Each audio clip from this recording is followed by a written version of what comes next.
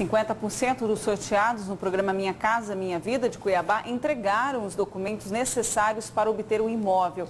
O prazo final termina nesta quarta-feira.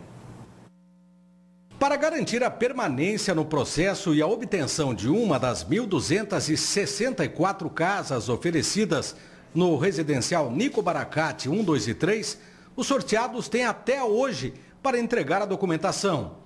As 1.896 famílias contempladas, inclusive as 632 que compõem o cadastro reserva, devem entregar todos os documentos que comprovem as informações fornecidas durante a inscrição no programa, que foi realizada de forma autodeclaratória.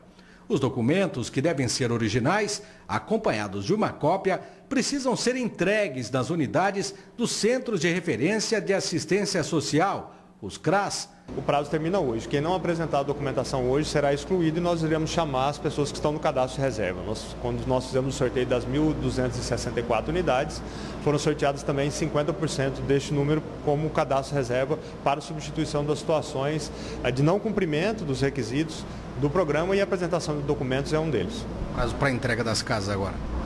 Prazo para entrega das unidades, de acordo com a Secretaria de Habitação, é o mês de janeiro de 2016.